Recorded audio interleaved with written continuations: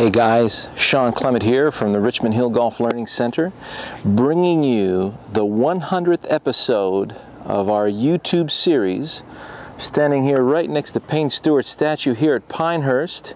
Played number eight today, fabulous. Tomorrow morning, number two. I can't wait.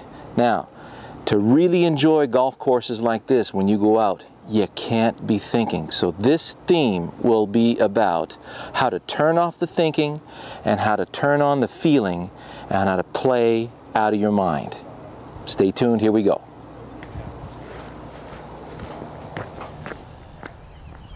So this is kind of nice, right? I go down to Pinehurst, do my 100th YouTube video, and wouldn't you know it, the, the main clip, my 10 minute clip is corrupt.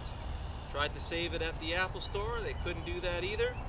So I'm going to do the little 10 minute clip here and then we'll come back to the conclusion back at Pinehurst.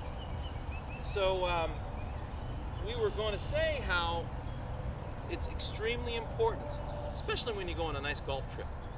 You don't want to be thinking technical stuff. I know many of you are so tempted to think, oh yeah, but I'm working on this thing and I, I, am so insecure that if I don't do these things, I'm gonna mess up.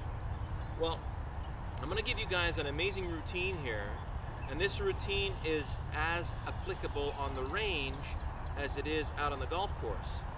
I will give you full authority to think about your body parts all you want in your practice swing. But when it comes time to swinging through the ball towards a target, you have to be focused on one particular field. And your practice swing is going to get you there, okay?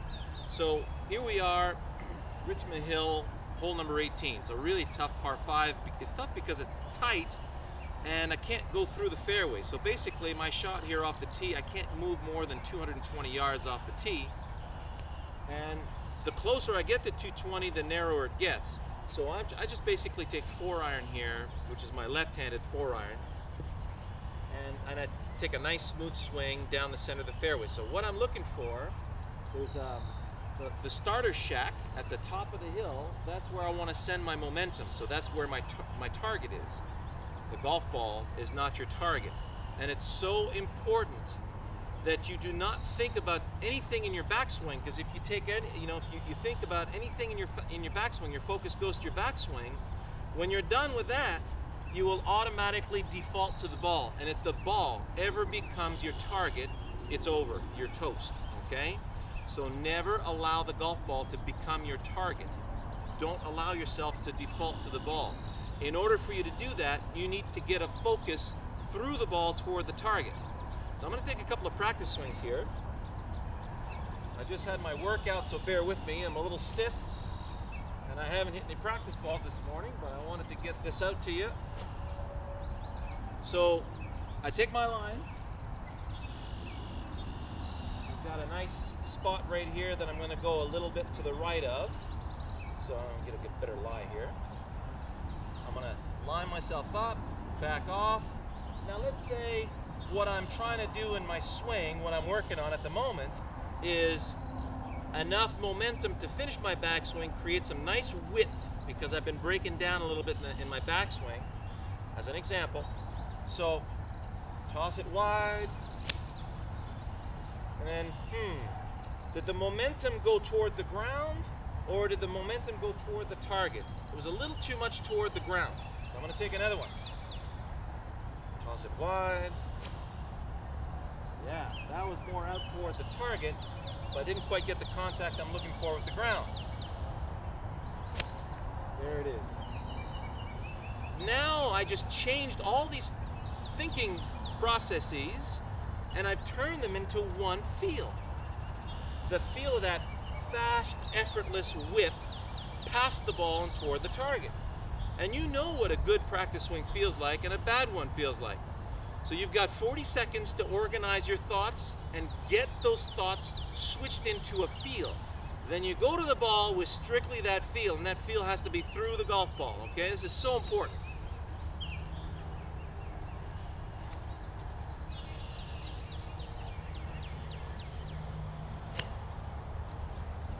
That's the one. Now what, what was that feel again? Oh, yeah, yeah, I remember. It felt just like that. Wonderful. Perfect. So I'm right at the top of the bottle. And if I hit one more like that, I'm right in front of the green and I can chip on and get my birdie, okay? So let's go do a little approach shot. Okay, so as you can see, it gets a little narrow up here. So I've got about 220 left to the pin, uphill, and uh, you can see that uh, I just kept the camera along the slope so you can see a little bit of the slope here.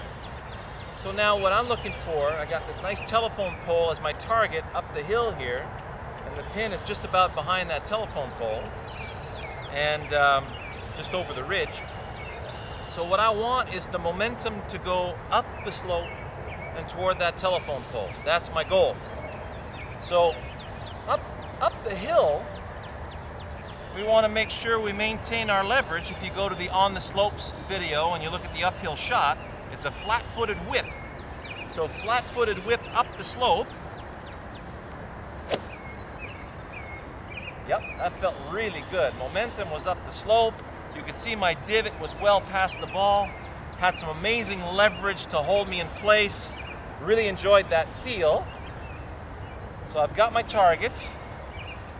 I still feel what I just experienced and I'm sending that momentum right toward that telephone pole. So the only thing I got in mind right now is the feel the pass here toward that telephone pole. And it feels effortless and powerful.